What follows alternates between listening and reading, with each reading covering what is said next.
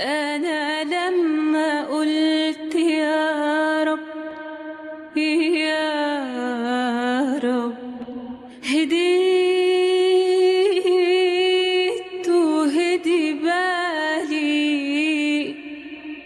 أنا اتكلت عليك في كل أحوالي. بسم الله الرحمن الرحيم. برحب بحضراتكم والدنيا بخير. كل اللي عملناه وتعبنا فيه على مدار العمر والسنين. دايما بنخاف عليه يضيع مننا أو نخسره وطول الوقت قلقانين. بيتنا وأهلنا وحياتنا وأولادنا بندعي ربنا يحفظهم ويفضلوا في حياتنا موجودين. حتى نفسنا وأحوالنا وأمورنا محتاجين دايما نكون في أمان ومستقرين. عشان كده بنستودع كل غالي علينا عند ربنا سبحانه وتعالى. اللي مفيش وديعة عنده بتضيع. إزاي نستودع نفسنا واهلنا وكل حياتنا عند ربنا سبحانه وتعالى. ده اللي هنقوله النهارده ان شاء الله مع فضيلة الشيخ الدكتور رمضان عبد الرازق عضو اللجنة العليا للدعوة بالأزهر الشريف وإن شاء الله في انتظار تليفونات حضراتكم وأسئلتكم. فضيلة الشيخ سلام عليكم وأهلا بحضرتك. وعليكم السلام ورحمة الله وبركاته. أهلا وسهلا بحضرتك وأهلا وسهلا بجميع العاملين في هذه القناة الجميلة وبجميع المشاهدين والمشاهدات. دايما نبقى قلقانين هنجيب أقرب حاجة على أولادنا. يقولوا لنا استودعوهم عند ربنا سبحانه وتعالى. وربنا سبحانه وتعالى اللي يستودع عنده حاجة عمرها ما تضيع. يعني إيه نستودع كل شيء في حياتنا عند اللي خلقنا؟ بسم الله والحمد لله وأشهد أن لا إله إلا الله وأشهد أن سيدنا محمد رسول الله. اللهم صل وسلم. وبارك على سيدنا محمد وعلى آله وصحبه ومن والاه وبعد. يعني إيه كلمة وديعة عشان ولادنا الصغيرين؟ وديعة دي يعني حاجة غالية عندي أنا وأنا هسافر فخايف أسيبها في البيت فتضيع أو أسيبها في مكان مش أمان فتضيع. فبروح لحد من كبار البلد وبيته آمن وعليه حراسة وهو أمين جدا جدا جدا وأسيبها له أمان. جدا جدا. وأقول الله يبارك في عمرك وأقول له اتفضل بعد إذنك خلي دي عندك وديعة يعني أمانة. شيلها عندك. حافظ لي عليها. أنا مش قادر أحافظ عليها. فأسيبها له يحافظ عليها. يحطها عنده في الخزنة يحطها عنده في مكان أمين. لما أجي أستردها يقول لي اتفضل وديعتك. أديته؟ أقول له أديت. كده أدي معنى كلمة الوديعة. طيب جت منين فكرة إن أنا أستودع الله ما عندي من الأشياء المهمة؟ كأولاد كمال كصحة كدين كعلم. جات من فكرة ما رواه أبو داود وأصحاب السنن إن سيدنا النبي صلى الله عليه وسلم والسلام. كان إذا ودعه مسافر واحد مسافر فبيقول له إيه؟ أشوفك على خير يا سيدنا النبي صلى الله عليه وسلم. سيدنا النبي بيجي ماسك إيده كده ويجي قايل له إيه بقى؟ وداع عظيم جدا. يقول له أستودع الله. بيقول سيدنا النبي صلى الله عليه وسلم بيقول للمسافر. أستودع الله دينك وأمانتك وخواتيم عملك. زودك الله التقوى. نقطة حلوة قوي. فهمها لنا بقى. نقول لي معاليك مع حضرتك ابنك مسافر. تمام؟ عنده محاضرة عنده كذا عنده كذا فأنت تيجي بتيجي ماسكة إيد ابنك وتقولي له كده إيه؟ أستودع الله دينك وأمانتك وخواتيم عملك زودك الله التقوى. اكتبوها آه والله. أو سجلوها. الله يبارك في عمرك. ده الكلام الجميل. تاني بقى. نقولها تاني. لو أنت بتودعي مسافر هو مسافر بنتك مسافرة ابنك مسافر حد آه، من أحبابك مسافر مسافرين. لازم سفر ولا خروج من ما أنا هقول لي معاليك بقى هنشرح. طب ما هو الدنيا كلها سفر. إحنا أصلا مسافرين. كلنا على سفر ولن نضع الرحال إلا في الجنة. لأن إحنا أصلا سيبنا بيوتنا. مستقر. ولذلك حضرتك أنت في الكعبة ما بتصليش قصر ليه؟ مش علشان مئة ألف. أهم من المئة ألف. إن أول بيت وضع للناس. أنت في أي حتة مسافرة إلا صح. هنا. إنك في بيتك. الآن نحط الرحال. وده أحد أسرار إن أنا أول ما ما اوصل الجنة. سيدنا النبي صلى الله عليه وسلم يقول موضع صوت أحدكم في الجنة خير من الدنيا وما فيها. إيه صوت دي عارف حضرتك وأنا راكب الفرس معايا صوت كده أهش به على الفرس عشان يسرع. طب إذا وصلت بيتي ومستقري أول حاجة بتخلص منها الصوت اجرميه عشان أستعد للنزول. فلما برمي الصوت هذا دليل على الايه؟ الآن نستقر. تمام؟ فموضع الصوت ده اللي هو العصا الصغيرة اللي بشاور بيها على الفرس في الجنة يعني قد الصباع قد الإيد خير من الدنيا وما فيها. وده أحد أسرار ألهاكم التكاثر حتى, حتى إيه؟ زرتم المقابر. قولي كده تاني. زرتم المقابر. زرتم. يعني المقابر زيارة. يعني مش مستقر. يبقى مش مرحلة برضو. أيوه كده. ده أنا هدوب هز... هو اللي بيزور حد هيستقر عنده ولا مدة مؤقتة ويترك؟ فالمقابر كده مدة مؤقتة وتترك لأنك رايح لمستقرك. فإحنا كلنا على سفر. نقول تاني وأنت بتودع أي حد رايح يحج رايح يعمل عمرة رايح لمحاضرة رايح لكذا رايح لعلاج ايا كان. تقول له كده استودع الله دينك. وأمانتك وخواتيم عملك زودك الله التقوى. ليه ناخد نقول التليفون ناخد التليفون ونقول ليه. مدام أمينة. ألو، السلام عليكم. عليكم السلام ورحمة الله وبركاته. اتفضلي. يا دكتورة لمياء. أهلا بيكي. عاملة إيه؟ الحمد لله بخير. كل سنة وأنت طيب. وحضرتك بألف خير على رب. فكرة أنا أول مرة أرن. نورتينا. الله يخليكي. أنا أول مرة أرن على فكرة. وبحبك جدا جدا جدا. ربنا يخليك يا رب. وبحب الشيخ رمضان. صراحة أنا بعتبره والدي مش فيك.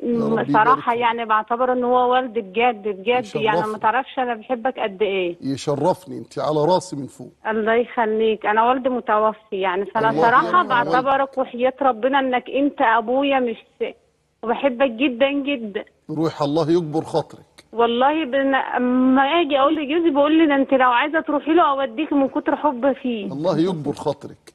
الله يخليك يا رب. كل سنة وأنت طيب. كل عام وأنت بخير وسعادة.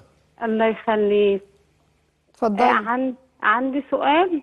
آه م... آه لما باجي مثلا ساعة الصلاة آه كنت أنا سامعة يعني من الشيخ محمد آه أبو بكر الشيخ م- أبو بكر يعني. إن في إن لما تيجي تصلي بيبقى في مثلا أنت أنا اتوضيت وخلاص راح أصلي. قبل الصلاة بحاجات بسيطة كده مثلا طلع ريق. فبروح أتوضى تاني. مم. فهو بيقول اللي هو عنده التكرار ده متكرر في إيه؟ يكمل صلاته عادي. ده اسمه سلس. آه. سلس سلس بول أو سلس ريح. هل آه. ده موجود؟ انت عندك هو, ده؟ هو بيبقى لأ مش كده. بصي أنا وراح خلاص أصلي. أبقى متوضية وراح أصلي. أيوه ده متكرر عندك؟ لأ بس ساعة الصلاة بس. تمام. بيجي, بيجي ساعة الصلاة بس. مم. وعندي سؤال تاني. يعني ده في كل صلاة انت بتيجي تصليها؟ لأ في وفي. طيب. اتفضلي. تاني لوالدي. الإيه؟ لأبويا الله يرحمه. ندعي له حاضر. لا آه، إن أنا مثلا لو جيت أدعي له أدعي له بأي أدعية عادية وساعات بأدعي له مثلا إني بفضل أصلي على الرسول عليه الصلاة والسلام وأقول إن أنا وهبته كذا. مم. هل ينفع ولا في حاجات معينة إن أنا أدعي له بيها ولا أي حاجة عادي؟ حاضر حاضر. تابعينا يا أمين؟ طيب نجاوب على أول سؤال. أول سؤال بصي حضرتك هو في حاجة اسمها آه، ربنا يا رب كده يشفي كل مريض. آمين يا رب. آمين يا رب. في حاجة اسمها سلس البول أو سلس الريح.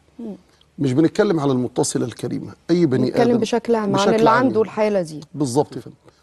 آه، فحد مثلا عنده سلس بول بيتوضى وما يبقاش محتاج الحمام وبعدين والعياذ بالله آه، ينزل بعض نقاط الماء البول. لا ما غصب عنه ما بيقدرش يتحرز منها. ده اسمه سلس البول. لما جه واحد اشتكى لسيدنا رسول الله صلى الله عليه وسلم من هذا الأمر سيدنا النبي صلى الله عليه وسلم قال له توضأ لكل صلاة. وما نزل بعد ذلك معفو عنه. ده اسمه سلس البول. زي بالظبط اللي عندها بعيد عنه عنك استحاضة. فيه نزيف مستمر. تتعامل زي سلس البول. تتوضأ عند كل صلاة ثم تتحفف وكذلك اللي عنده سلس بول يتحفف يضع شيئا طاهرا ثم يصلي. ما نزل أثناء الصلاة معفو عنه. كذلك اللي عنده سلس ريح يتوضأ قبل الصلاة مباشرة ثم يدخل في صلاته. ما حدث أثناء الصلاة معفو عنه لأنه هذا غاية استطاعته. لا يكلف الله نفسا إلا وسعها. تمام. ده في الحالات اللي هي عندها المرض. آه. لكن أي حالة تانية لابد من إعادة الوضوء. لابد أن يتوضأ. تمام. الدعاء لوالد هل في أدعية معينة؟ هل في حاجات معينة نوهبها لهم؟ قراءة القرآن الكريم مثلا. هي بتقول الصلاة على الرسول عليه أفضل الصلاة والسلام. هل أي تسبيح وذكر لله؟ بعد ما نخلصه نقول إن إحنا بنوهب اجره وثوابه لفلان أو لفلانة؟ بص حضرتك إحنا عندنا آه، السؤال ينقسم إلى قسمين. الشق الأول شق الدعاء. القرآن الكريم أولد لي أورد لي دعوة حلوة قوي رب ارحمهما كما ربياني صغيرا. أقولها على أبي وأمي أحياء وأمواتا. لأن إحنا كلنا طالبين للرحمة. فأطلب لوالدي ولوالدتي الرحمة على قيد الحياة وبعد الممات. طب ممكن أدعية تانية؟ ممكن. اللهم اغفر لهم وارحمهم. اللهم عافهم واعف عنهم. اللهم أكرم نزلهم اللهم وسع مدخلهم. بعد بينهم وبين خطاياهم كما بعدت بين المشرق والمغرب. آنس وحشتهم. ارحم غربتهم. لقنهم حجتهم. ادخلهم الجنة بغير حساب ولا سابقة عذاب. ما استطعت. أنا لو مش قادر أحفظ الأدعية دي يكفي أن أنا أطلب من آه، من ربنا المغفرة والرحمة والجنة. يا رب اغفر وارحم وأدخلهم الجنة. يا رب اغفر لأبي وأمي وارحمهما وأدخلهما الجنة. خلصنا على كده. أبسط الأمور. بس كده. مغفرة رحمة جنة. خلاص. هو أنت محتاج إيه تاني؟ طيب النقطة الثانية بالنسبة للأعمال. الأعمال فيه متفق عليه وفيه مختلف فيه. متفق عليه الدعاء والصدقات والاستغفار إكرام صديقهما صلة رحمهما تنفيذ عهدهما عمرة أو حج. اختلف العلماء فيما عدا ذلك. ال- القرآن والأصح أنه يصل. بقرأ القرآن ثم أدعو الله عز وجل. إننا بنقرأ الفاتحة. ف... فما إحنا- بنقرأ ما هي الفاتحة القرآن لا. زيها زي الفاتحة زيها زي القرآن. ما هو يبقى ال- الاختلاف هنا في إيه؟ الاختلاف إنه بعض العلماء قالوا يا جماعة القرآن لم ينزل ليقرأ على الأموات. القرآن نزل لينذر من كان حيا ليكون نبراس لنا قانون لنا آه، آه، قيم أخلاقية بنمشي عليها. آه، آه، دستور عبادات.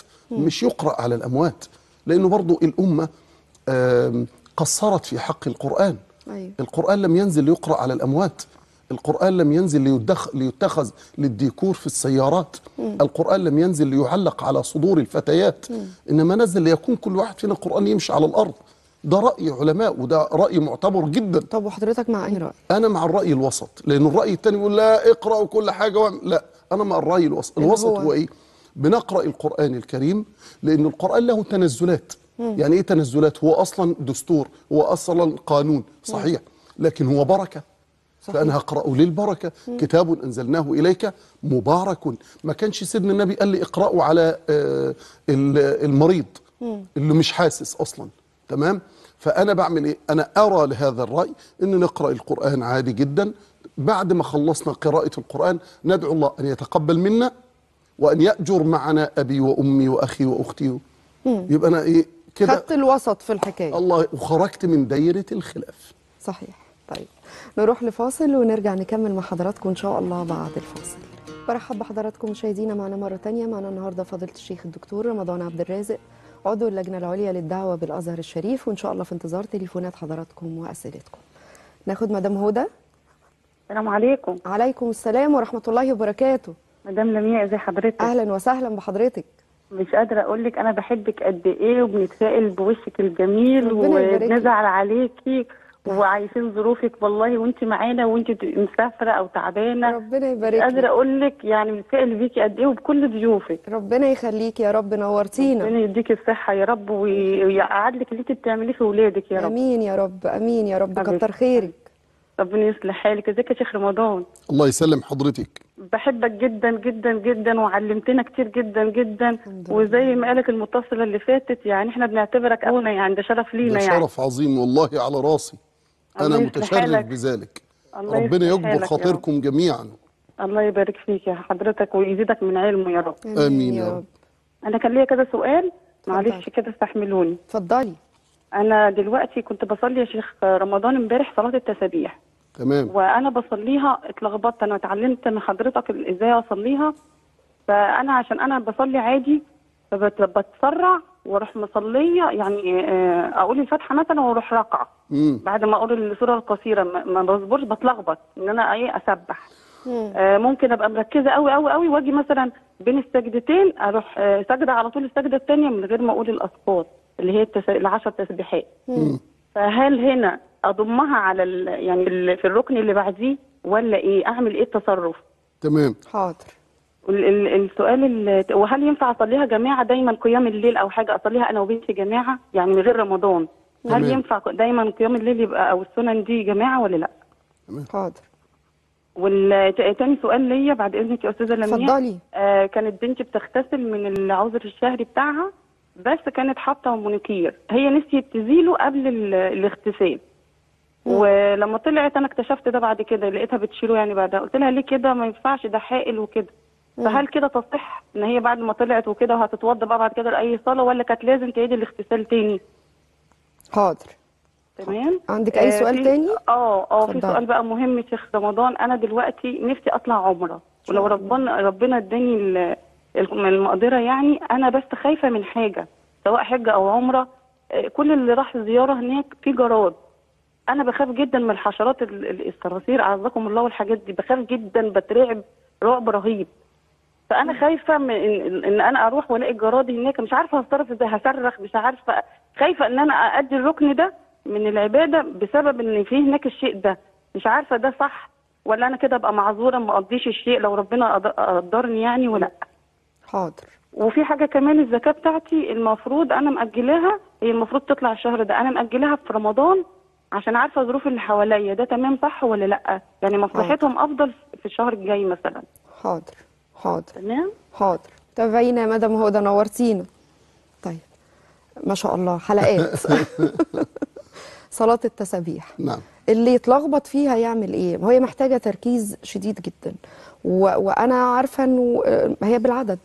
مظبوط. أي لخبطة تحصل بيبقى الوضع إيه بقى؟ طبعا هو عشان الناس تبقى فاهمة صلاة التسابيح أكثر أهل العلم على أنها صحيحة.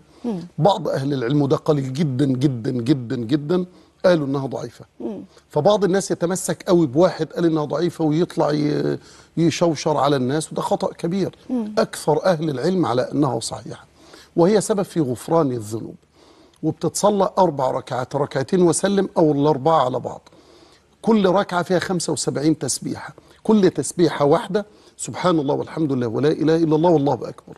فبقول الله أكبر وأجي مسبح عشرة. ممكن أسبح على صوابعي. آه. طيب وبعدين أقرأ الفاتحة وما تيسر من القرآن وسبح 15 في كل هيئة من الهيئات عشرة ما عدا بعد الفاتحة والسورة عشان نخلص. بعدين أركع عشرة. أرفع من الركوع عشرة. السجود الأول عشرة. الجلوس بين السجدتين عشرة. السجود الثاني عشرة. طب لو أنا اتلخبطت لو أنا اتلخبطت في عدد من الأعداد قدامي حل من اتنين تمام؟ إما أنني أتذكر وأنا في الصلاة أو لا أتذكر. إن لم أتذكر صلاتك صحيحة وربنا لا تؤاخذنا إن نسينا أو أخطأنا. طب إن تذكرت في الصلاة إما أن أضم هذا العدد للع- للعدد في اللي بعده. اللي بعديها آه. أو إن أنا أقعد قعده صغيرة في نهاية كل ركعة. أجيب الزيادة أجيب اللي أنا إيه نسيته. لأن برضو دي هيئة من هيئاتها. تمام؟ لأنه أحد هيئاتها عشان بس ما لخبطش الناس. الله أكبر أقرأ على طول. والعشره اللي هم ما بين التكبير والقراءة بيخلوهم جلسة صغيرة في نهاية كل ركعة. فهي إما حاجة من اتنين. يضم اللي نسيته في الهيئة الأولى إلى الثانية يا إما تجلس جلسة صغيرة في نهاية كل صلاة في نهاية كل ركعة. قبل القيام تقول العدد اللي, اللي. اللي فاتته. تمام. طيب قيام الليل ينفع إنه يبقى جماعة؟ كل السنن تنفع جماعة. زي ما بنصلي كده التراويح جماعة زي ما بنصلي الشفع والوتر جماعة يجوز ينفع. وكانت السيدة عائشة تصلي قيام الليل آه، جماعة. فيجوز. ولو هم مجموعة سيدات من تأمهن تقف وسطهن في الصف الأول ليس أمامهن. تمام. نعم. الغسل بالمانيكير لو لو ما اغتسلتش. لازم تعيد تاني. آه. لم يتم اغتسال. مفيش حاجة يا جماعة المونوكير اللي بيتحط على الضوافر عازل. طالما عازل يبقى الوضوء مش هينفع والست حاطة مونوكير ولا الاغتسال من الجنابة ينفع والست حاطة مونوكير ولا الاغتسال من الحيض ينفع والست حاطة مونوكير. لابد أن يزال اولا ثم تغتسل ثانيا ويصل وتصل المية, المية. لكل مكان في جزء المغتسلة. تمام؟ ما ينفعش تغتسل من جنابة أو من حيض دون أن تغسل شعر رأسها. أصلها لسه عاملاه في, في السشوار أنا مالي من السشوار ما اغتسلتش أصلا. لابد إنه المية تعم بدن البني آدم كاملا من الألف تصل الياء. لكل مكان. طبعا. وتعمل عمليه تخليل لجذور الشعر. أتأكد إنه تعمم الجسد بالماء عندها اغتسلت. فيه مونوكير ما ينفعش. في جزء ما وصلتلوش المية ما ينفعش. ما غسلتش شعرها ما ينفعش. فبنتها لازم تعيد الاغتسال وتعيد الصلوات اللي صلتها بهذه الصورة. تمام. نفسها تطلع العمره وخايفة من الجراد اللي موجود أو حشرات ممكن تكون موجودة. آه الله يصلح حالي وحالك. ده مدخل من مداخل الشيطان. هذا الجراد الحمد لله غير موجود وكان في فترة زمنية قليلة جدا جدا وزال بفضل الله. ما فيش الكلام ده أصلا. ما فيش صح مش كنت. هقول لها كده ما إحنا بفضل الله عز وجل لله. من أيام قلائل كنا هناك جو عسل والدنيا حلوة أنظف حاجة في الدنيا هتلاقيها يكون. هناك. دي فسحة المؤمن صحيح. يعني اتوكلي على الله وإن شاء الله أسأل الله أن يجبر خاطرنا وخاطرك وخاطر جميع المشاهدين طيب الزكاة هي مأجلاها كانت المفروض تطلعها دلوقتي هي مأجلاها لشهر رمضان عشان احتياجات الناس اللي هي بتطلع لهم هو ده لا يجوز اقدم آه أأجل لا. فهماني سعادتك يعني أنا عليا زكاة مالي. تمام؟ ممكن أقدمها مش اخرها خليني جه ميعادها؟ لازم الله يستر. حبيت أطلعها قبل ميعادها؟ أطلعها. بالتقسيط. يعني أنا دلوقتي هفترض عليا زكاة مال مئة ألف في السنة. تمام؟ ومقسمها عشر تلاف جنيه كل شهر. تسعة تلاف جنيه كل شهر. يجوز. بس أكتب في ورقة كده أجندة موجودة في الدولاب خاصة بالزكوات. أجي كاتبة أول يوم واحد ولازم يبقى آه، شهر هجري مش ميلادي. فهقول أنا زكاتي واحد شعبان. آه، آه، واحد شعبان 1445 علي زكاة مال مبلغ مئة ألف جنيه. بواقع عشرة ألاف جنيه أو تمن تلاف جنيه كل شهر. تخرج واحد اتنين تلاتة أربعة خمسة ستة. يا ربنا استرد أمانته وأنا مت. ولادي يكملوا ما نسيبهاش كده. فهماني سعادتك؟ طيب أنا عشان ما يبقاش عيدين أي طبعا. خليني ما عملتش ده. وأجلت الرمضان وأنا مت. أقابل ربنا إزاي؟ صح. ما ينفعش. خالص. خالص. لكن ممكن أطلع مقدم. تمام؟ أ- أ- أنا خلصت زكاة آه، مال آه، 24 تمام؟ وعليا زكاة مال في 25 وفي حد دلوقتي محتاج حد بيعمل عملية. وأنا أقدر إن أنا أطلع ده؟ أطلع 10000 جنيه ده في وقت الاحتياج كمان طبعا والشده أطلع ال 10000 جنيه من زكاة سنة 25 ولما تيجي زكاة 25 أبقى إيه؟ أعمل مقصة منها. تمام. طيب ونروح لفاصل ونرجع نكمل مع حضراتكم إن شاء الله بعد الفاصل. برحب بحضراتكم مشاهدينا معنا مرة تانية. معنا النهاردة فضيلة الشيخ الدكتور رمضان عبد الرازق عضو اللجنة العليا للدعوة بالأزهر الشريف فقرتنا فقرة جمعية البر والتقوى المصرية. فضيلة الشيخ دايما لما الواحد يجي له أي ابتلاء تلاقي الناس على طول تقول لك اطعم طلع وجبات اطعم حد ممكن يكون محتاج. الحكمة إيه في إطعام الطعام؟ أسأل الله عز وجل أن يدفع عنا وعنك وعن جميع المشاهدين الابتلاءات يا رب العالمين. آمين يا رب. آمين. وأن يجعلنا عباد إحسان. آمين يا رب. لا عباد امتحان. آمين يا رب. ال- الصدقات من أعظم أسباب تفريج الكروبات. إطعام الطعام والصدقات وجبر خاطر الناس وجبر خاطر أسيادنا الفقراء من أعظم ما يفرج الكروبات. الابتلاء غضب من ربنا أو حد عمل معصية أو خايف على نفسه أو خايف على أولاده الصدقات. سيدنا النبي صلى الله عليه وسلم قال الصدقة تطفئ الخطيئة وتدفع غضب الرب. وتدفع ميتة السوء. ويقول النبي صلى الله عليه وسلم. ذبوا يعني ادفعوا عن أولادكم في رواية عن أعراضكم بأموالكم. فالصدقات من أعظم أسباب تفريج الكربات من أعظم أسباب قضاء الحاجات. اللي بيتصدق بصدقة مهما كانت قليلة يعطيه الله أربعة أشياء. واحد ينزل الله البركة في ماله. اثنين يحببه إلى خلقه. ثلاثة يدفع عنه البلايا والعاهات. أربعة يجعل صدقته سترا بينه وبين النار وظلا على رأسه يوم القيامة. طب البركة في المال؟ نعم. بتكون بزيادة المال ولا استقرار المال ولا إنه حتى لو كان قليل فيبقى مكفي. نروح للجذر اللغوي لكلمة البركة. جاية من بارك ب ر كاف استقر.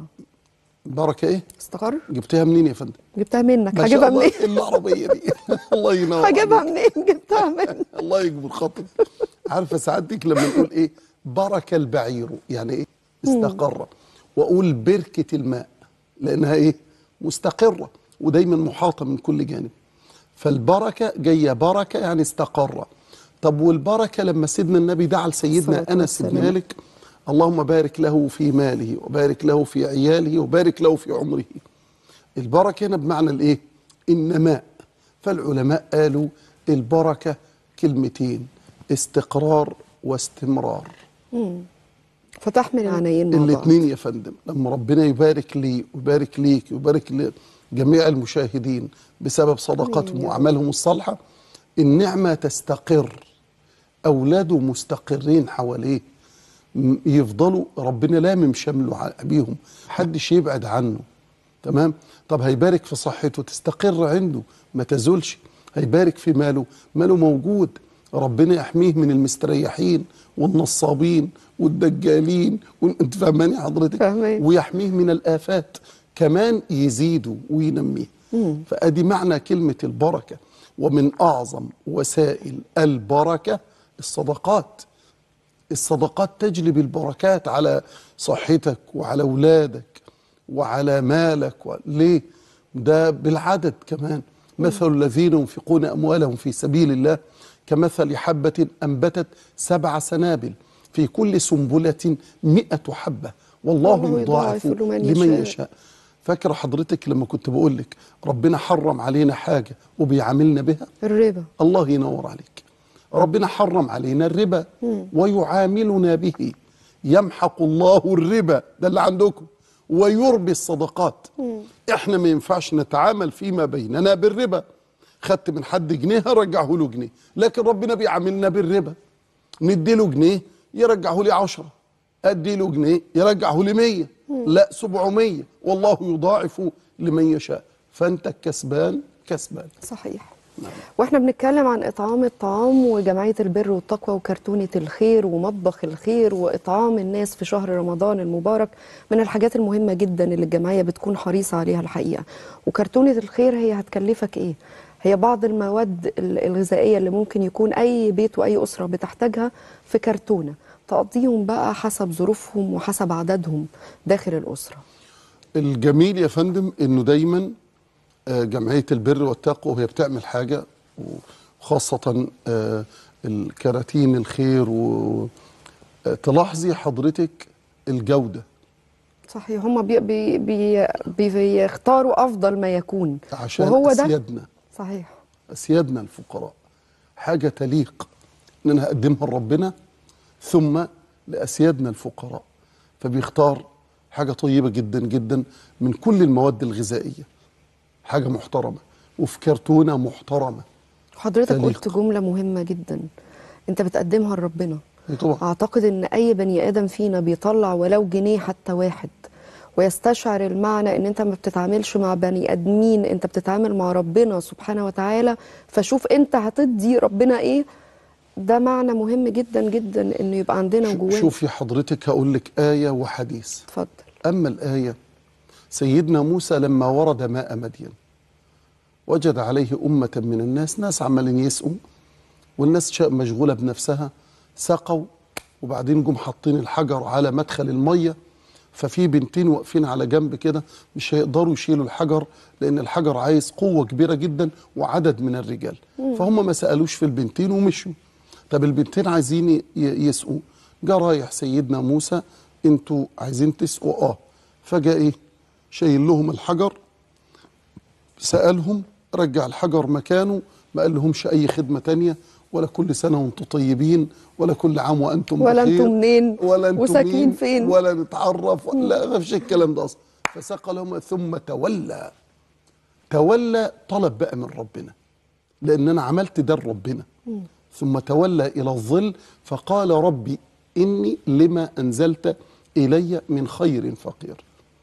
فأنت لما بتعمل الخير أنت ما تنتظر طبعا على على الناس من أسيادنا الفقراء إنه ي- يزكي أخلاقه ويكون أسلوبه حلو ويشكر ربه ويشكر من اسدى إليه المعروف ب- بكلمة حلوة تساعد على نمو الخير. طب إن لم يحدث أنا مش بعمل للناس. آه مش مستني منهم حاجة. أيوه ولذلك من قواعد الراحة ومن قواعد الإخلاص لا تنتظر شكرا من أحد. صحيح أنت انت بتتعامل من ربهم. وانتظر الخير من رب الخير. صحيح. تمام؟ أن إنما نطعمكم لوجه الله لا نريد منكم جزاء ولا شكورا. فأنت لما تتعامل كده شكروك أنت مبسوط؟ ما شكروكش برضو أنت مبسوط؟ لأنك بتعمل لله رب صحيح. العالمين. ونعم بالله.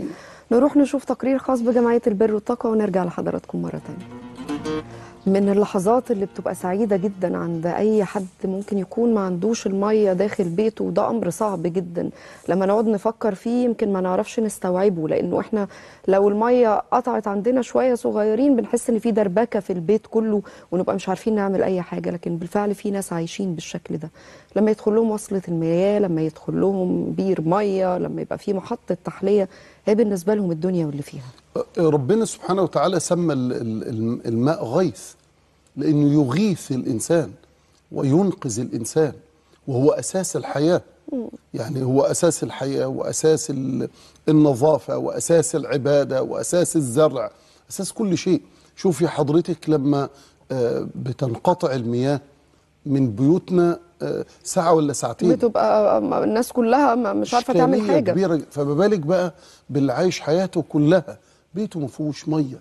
بيروح يملى من مكان بعيد. والموضوع ويبقى كله بيتعامل معاها بقى بحساب. آه،. شديد جدا النقطة بتفرق معاه. فتخيلي حضرتك لما حد بيعمل وصلة مية بيتسبب في إزاي آه، بقى سهل عليه العبادات وسهل عليه التزين والتجمل والنظافة. وسهل عليه الشرب وسهل عليه الأكل وحفظ ماء وجهه وحفظ عليهم تعبهم. هو بي بيحمل في أواني كتيرة جدا المية وساعات دي ناس كمان كبار في السن بالظبط. هم أساسا بيتحركوا وبيمشوا بالعافية. فتخيلوا بقى وهم شايلين كمان. فتوصيلة المية من أعظم الزكوات الجارية ومن أعظم الصدقات الجارية. ع- عظيمة جدا وباقية. وسبب كبير جدا. وفيها معظم أعمال الخير. لأن أنت بتفرج بتفرج كربته وتيسر أمره وتحفظ ماء وجهه وتنفعه وخدمة ليه وتساعده على طاعة الله عز وجل. شيء عظيم جدا. ولذلك ربنا قال وجعلنا من الماء كل شيء حي. أفرأيتم الماء الذي تشربون؟ أنتم أنزلتموه من المزن أم نحن المنزلون. مجرد شربة المية أعظم صدقة على غني ولا فقير سيدنا النبي صلى الله عليه وسلم قال.